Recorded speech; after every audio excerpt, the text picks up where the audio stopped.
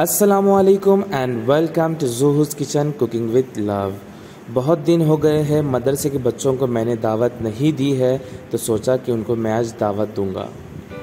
तो आज मैंने मदरसे के बच्चों के लिए रखी है दावत और आज उनके लिए बनने वाली है अंडे की तहारी, क्योंकि बहुत आसानी से बन जाती है, इसमें कोई मैरिनेशन करने की ज़रूरत नहीं है फ़ौर बन जाती है, टेस्टी भी होती है और ख़ास करके बच्चों को अंडे की तहारी बहुत पसंद आती है।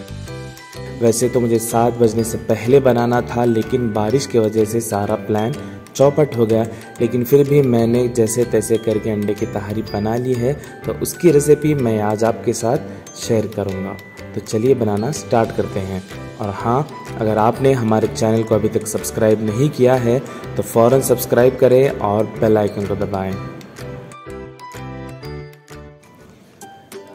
तो मैं बनाने वाला हूँ दो किलो तहारी तो उसके लिए मैंने 20 अंडे उबाल लिए हैं। एक फ्राइंग पैन में मैंने थोड़ा सा तेल डाला है, उसमें डाला है हल्दी और लाल मिर्च। इसको चार से पाँच सेकेंड तक भूनेंगे और इसमें डालेंगे बॉईल किए हुए अंडे और इन अंडों को टॉस करते हुए अच्छे से चार से पाँच मिनट तक इसे फ्राई करेंगे। इनके ऊपर ऐसे पैचेस आने चाहिए तो ये परफेक्टली फ्राइड है। अंडे हमारे अच्छे से फ्राई हो गए हैं, इनको हम साइड में रख देते हैं और एक बड़े से भगोने में मैंने लिया है आधा किलो तेल। इसमें हम डालेंगे कुछ सूखे मसाले। तो ये इसमें मैं डाल रहा हूँ 10 से 12 लौंग, चार से पाँच हरी इलायची, दो बड़ी इलायची 15 से 20 काली मिर्च, एक टीस्पून शाही जीरा, कुछ तेज पत्ता, दो दालचीनी के टुकड़े और एक बादियान का फूल। इन सारे मसालों को हम तेल में एक से दो मिनट तक फ्राई करेंगे।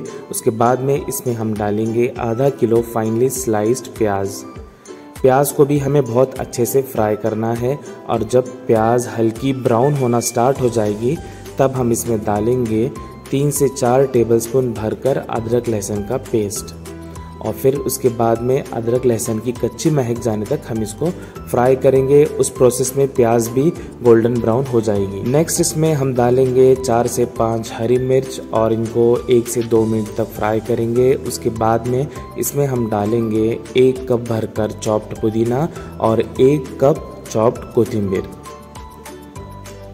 इनको तेल में ही हम फ्राई करेंगे। ऐसा करने से तहारी में खुशबू बहुत अच्छी आती है।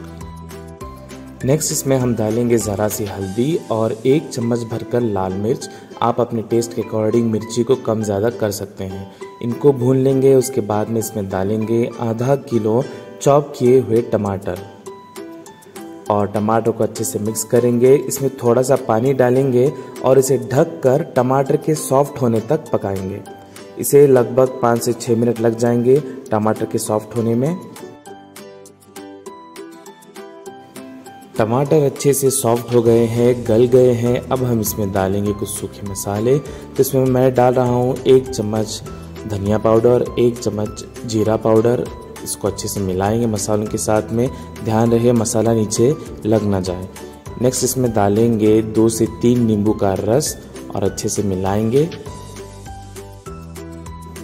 अब हम इसमें डालेंगे दही। ये साढ़े तीन सौ से चार सौ ग्राम दही है। यानी लगभग आधा लीटर दही है। इसे डालकर अच्छे से मिलाएँगे और मसालों से तेल अलग होने तक पकाएँगे। साथ में मैं इसमें डाल रहा हूँ होममेड गरम मसाला और ये हमारा तहारी का मसाला तैयार है। अब हम इसमें डालेंगे हसबे जायका नमक और थोड़ी सी कसूरी मेथी। अब इसमें हमें पानी डालना है तो जितना हमारा चावल है, उससे दो गुने से कम पानी डालना है, क्योंकि मसाले में भी पानी अभी बाकी है। इसमें मैं डाल रहा हूँ थोड़ा सा फ़ूड कलर ये ऑप्शनल है। इसे अच्छे से मिक्स करके इसे हम ढककर पानी में उबाल आने देंगे। पानी अच्छे से उबलने लगेगा, तब हम इसमें डालेंगे धोए हुए चावल और हल्के हाथों से एक बार इसे मिक्स करेंगे। उसके बाद में इसे हम ढकेंगे, लेकिन थोड़ा सा खुला छोड़ देंगे और पानी के 80 परसेंट सूखने तक पकाएँगे।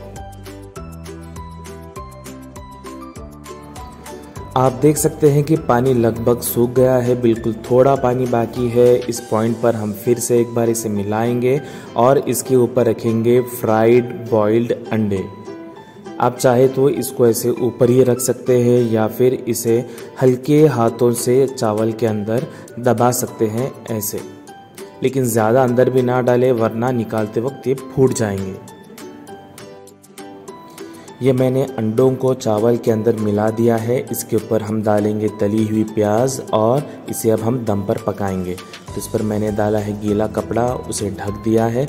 उसके ऊपर मैंने रखा है एक वज़नदार चीज़ और इस भगोने को मैंने रखा है तवे के ऊपर। तो इसे पाँच मिनट तक फुल फ्लेम पर रखेंगे। उसके बाद में लो फ्लेम पर दस मिनट तक रखेंगे और फ्लेम को बंद कर देंगे। फ्लेम को बंद करने के बाद इसे मैंने पंद्रह मिनट तक छोड़ दिया था। तो ये हमारी अंडे की तहारी तैयार हो गई है। लाइट बार बार चली जा रही थी तो मैंने बच्चों का रिएक्शन ले नहीं पाया। लेकिन यकीन जानिए, बहुत बढ़िया बनी थी तहारी तो आप भी ये रेसिपी ज़रूर ट्राई करें और फीडबैक दें। वीडियो अच्छा लगा तो लाइक करें कमेंट करें, ज़रूर शेयर करें। अल्लाह हाफिज़।